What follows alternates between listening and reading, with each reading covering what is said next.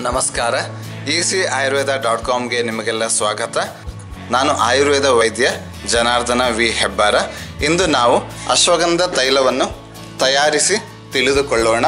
ಈ ಅಶ್ವಗಂಧ ತೈಲವನ್ನು ಮಾಂಸಖಂಡಗಳ ಶಕ್ತಿ ವರ್ಧನೆಗೆ ಮಸಾಜಿಗೋಸ್ಕರವಾಗಿ ಉಪಯೋಗಿಸಲಾಗುತ್ತದೆ.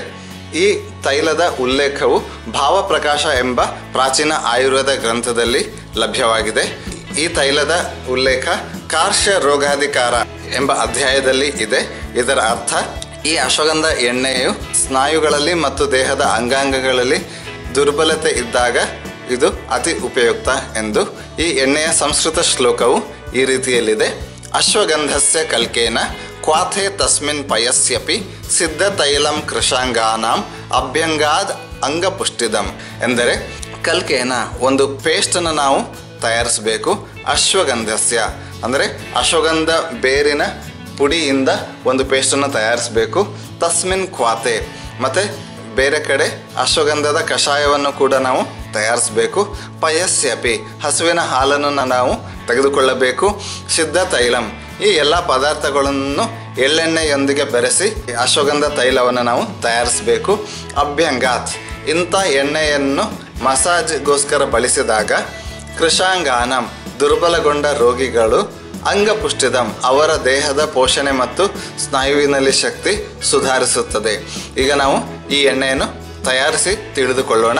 ಈ ಎಣ್ಣೆಯಲ್ಲಿ ಉಪಯೋಗವಾಗುವ ಪದಾರ್ಥಗಳ ಅನುಪಾತ ಈ ರೀತಿ ಇದೆ.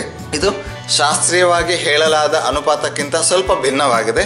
ಯಾಕೆಂದರೆ ನಾವು ಈ ಎಣ್ಣೆ ತಯಾರಿಗೋಸ್ಕರ ಕೇವಲ ಇನ್ನೂರು ಮಿಲಿ ಎಳ್ಳೆಣ್ಣೆಯನ್ನು ಮಾತ್ರ ನಾವು ಬಳಸ್ತಾ ಇದ್ದೇವೆ. ಹಾಗಾಗಿ ಅತಿ ಕಡಿಮೆ ಪ್ರಮಾಣದಲ್ಲಿ ನಾವು ಎಳ್ಳೆಣ್ಣೆ ತೆಗೆದುಕೊಳ್ತಾ ಇರೋದ್ರಿಂದ ಶಾಸ್ತ್ರೀಯವಾದ ಅನುಪಾತವನ್ನು ನಾವು ಅನುಸರಿಸಿದರೆ ಅಂತಿಮ ತೈಲ ಇಳುವರಿಯಲ್ಲಿ ತುಂಬ ಕಡಿಮೆ ಆಗಬಹುದು.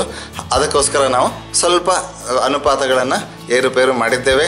ನೀವು ಸಾಂಪ್ರದಾಯಿಕ ಅನುಪಾತವನ್ನೇ ಅನುಸರಿಸಲು ಬಯಸಿದರೆ ದಯವಿಟ್ಟು ಈ ಕೋಷ್ಟಕವನ್ನು ನೋಡಿ ನೀವು ಆ ಎಣ್ಣೆಯನ್ನು ತಯಾರಿಸಬಹುದು. ಈಗ ನಾವು ಮುಂದೆ ಹೋಗಿ ಅಶ್ವಗಂಧ ಕಷಾಯವನ್ನು ಮೊದಲು ತಯಾರಿಸೋಣ. ಇಪ್ಪತ್ತೈದು ಗ್ರಾಮ್ ಅಶ್ವಗಂಧವನ್ನು ತೆಗೆದುಕೊಂಡು ಅದಕ್ಕೆ ನಾನ್ನೂರು ಎಂ ಎಲ್ ನೀರನ್ನು ಬೆರೆಸಿ, ಕುದಿಸಿ, ನೂರು ಎಂ ಎಲ್ಗೆ ನಾವು ಇಳಿಸ್ತಾ ಇದ್ದೇವೆ. ಕಷಾಯವನ್ನು ಕುದಿಸುವಾಗ ನಾವು ನಿರಂತರವಾಗಿ ಒಳಗಿನ ಪದಾರ್ಥಗಳನ್ನು ಕಲಕ್ತಾ ಇದ್, ಇರಬೇಕು. ನಂತರ ಕಷಾಯದ ಪಾತ್ರೆ ಯಾವಾಗಲೂ ಮುಚ್ಚಬಾರ್ದು. ಇದನ್ನು ನಾವು ತೆರೆದಿಟ್ಟುಕೊಂಡೇ ಏನು ಮುಚ್ಚಳ ಹಾಕದೇನೇ ಕುದಿಸಬೇಕು. ಮತ್ತು ಜ್ವಾಲೆ ಅತಿ ಹೆಚ್ಚಿರಬಾರ್ದು. ಅಂದರೆ ಕಷಾಯ ಮಾಡಬೇಕಾದ್ರೆ ಅತಿಯಾದ ಉಷ್ಣತೆ ಒಳ್ಳೆಯದಲ್ಲ ಮುಂದೆ ನಾವು ಅಶ್ವಗಂಧ ಪುಡಿಯನ್ನು ತೆಗೆದುಕೊಂಡು ಅದಕ್ಕೆ ಸ್ವಲ್ಪ ನೀರು ಸೇರಿಸಿ ಅದನ್ನು ಪೇಸ್ಟ್ ಮಾಡ್ತಾ ಇದ್ದೇವೆ. ಈಗ ಕಷಾಯ ತಯಾರಾಗಿದೆ. ಈಗ ನಾವು ಅದನ್ನು ಫಿಲ್ಟರ್ ಮಾಡ್ತಾ ಇದ್ದೇವೆ.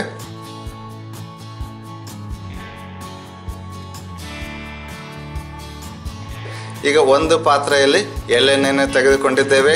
ಅದಕ್ಕೆ ಅಶ್ವಗಂಧ ಪೇಸ್ಟು ಹಾಲು ಮತ್ತು ಅಶ್ವಗಂಧ ಕಷಾಯ ಇವೆಲ್ಲವನ್ನು ಸೇರಿಸಿ ಇದನ್ನು ಕುದಿಸಬೇಕು. ಈಗ ನಾವು ಕುದಿಸಲು ಪ್ರಾರಂಭಿಸ್ತಾ ಇದ್ದೇವೆ. ಈಗ ಎಲ್ಲಿ ತನಕ ನಾವು ಕುದಿಸ್ಬೇಕು ಅಂತಂದರೆ, ಈ ಅಶ್ವಗಂಧ ಎಣ್ಣೆಯಲ್ಲಿ ನೀರಿನ ಅಂಶ ಸಂಪೂರ್ಣವಾಗಿ ಆವಿಯಾಗಿ ಹೋಗುವವರೆಗೂ ನಾವು ಇದನ್ನು ಕುದಿಸಬೇಕು.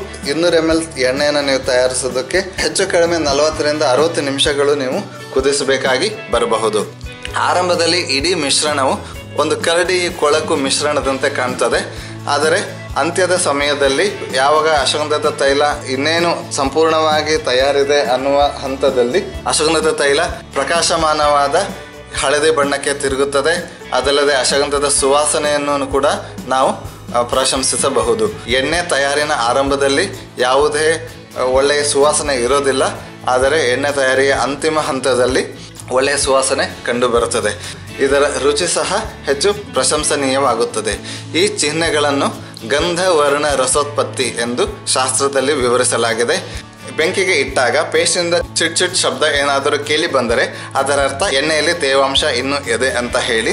ಈಗ ನಾವು ಈ ಪೇಸ್ಟನ್ನು ಬೆಂಕಿಗೆ ಹಾಕಿ ನೋಡೋಣ. ಎಣ್ಣೆಯನ್ನು ಕೂಡ ನೀವು ಬೆಂಕಿಗೆ ಹಾಕಿ ಪರೀಕ್ಷೆ ಮಾಡಬಹುದು.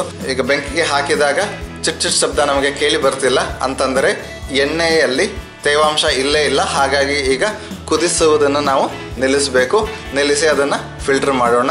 ತೈಲವು ಇನ್ನು ಬಿಸಿಯಾಗಿರಬೇಕಾದ್ರೆ ನಾವು ಫಿಲ್ಟರ್ ಮಾಡಬೇಕು. ಇದು ಅತ್ಯಂತ ಪ್ರಮುಖವಾದ ನೆನಪಿಡಲೇಬೇಕಾದ ಅಂಶವಾಗಿದೆ. ಈಗ ನಮ್ಮ ಅಶ್ವಗಂಧ ಎಣ್ಣೆ ತಯಾರಿದೆ. ಆರಂಭಿಕ ಪ್ರಮಾಣದ ಎಣ್ಣೆಗೆ ಹೋಲಿಸಿದರೆ ಸುಮಾರು ಐದರಿಂದ ಹದಿನೈದು ಶೇಕಡ ನಷ್ಟ ನಮಗೆ ಕಂಡು ಬರಬಹುದು. ಇದು ಸಾಮಾನ್ಯ. ಯಾಕೆಂದರೆ ಎಣ್ಣೆಯನ್ನು ಕುದಿಸಬೇಕಾದರೆ ಫಿಲ್ಟರ್ ಮಾಡಬೇಕಾದರೆ ಸ್ವಲ್ಪ ಪ್ರಮಾಣದ ಎಣ್ಣೆ ಕಳೆದು ಹೋಗುವ ಸಾಧ್ಯತೆ ಇರುತ್ತದೆ. ಹಾಗಾದರೆ ಈ ಅಶ್ವಗಂಧ ಎಣ್ಣೆಯ ಮಸಾಜ್ ಮಾಡಲು ಹೇಗೆ ಬಳಸೋದು ಅನ್ನೋದನ್ನು ತಿಳಿದುಕೊಳ್ಳೋಣ.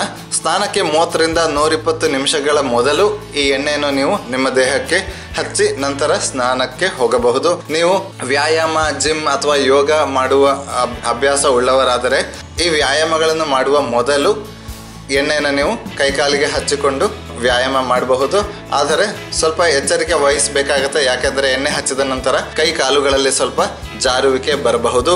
ನಿದ್ದೆಗೆ ಹೋಗುವಾಗ ಈ ಎಣ್ಣೆಯ ಕೆಲವು ಹನಿಗಳನ್ನು ನಿಮ್ಮ ಹಣೆಯ ಮೇಲೆ ಮತ್ತು ಕಾಲುಗಳಿಗೆ ಸ್ವಲ್ಪ ಹಚ್ಚಿಕೊಂಡು ನಿದ್ರಿಸಿದರೆ ನಿದ್ರೆಯ ಗಾಢತೆ ಇನ್ನು ಹೆಚ್ಚುತ್ತದೆ. ನೀವು ಸಂಪೂರ್ಣ ದೇಹಕ್ಕೆ ಮಸಾಜ್ ಮಾಡಿಕೊಳ್ಳಲು ಕೂಡ ಈ ಎಣ್ಣೆಯನ್ನು ಧಾರಾಳವಾಗಿ ಬಳಸಬಹುದು. ಈ ಎಣ್ಣೆಯ ಪ್ರಯೋಜನಗಳು ಸ್ನಾಯುಗಳು, ಮೂಳೆಗಳು, ಕೀಲುಗಳು ಅಸ್ಥಿರಜ್ಜುಗಳಲ್ಲಿನ ಶಕ್ತಿಯನ್ನು ಇದು ವೃದ್ಧಿಸುತ್ತದೆ.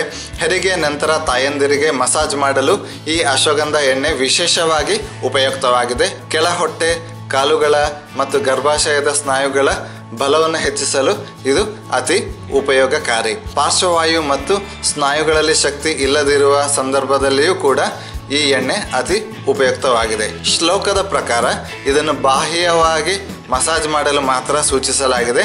ಆದ್ದರಿಂದ ಮೌಖಿಕ ಸೇವನೆಯನ್ನು ತಪ್ಪಿಸುವುದು ಉತ್ತಮ. ಈ ತೈಲವನ್ನು ಎಲ್ಲರೂ ಬಳಸಬಹುದು. ಆದರೂ ಕೂಡ ಯಾವುದೇ ಆಯುರ್ವೇದದ ಎಣ್ಣೆ ಅಥವಾ ಯಾವುದೇ ಆಯುರ್ವೇದ ಔಷಧಿಯನ್ನು ಬಳಸುವ ಮೊದಲು ವೈದ್ಯರ ನೇರ ಸಲಹೆ ಪಡೆಯುವುದು ಅತ್ಯವಶ್ಯ.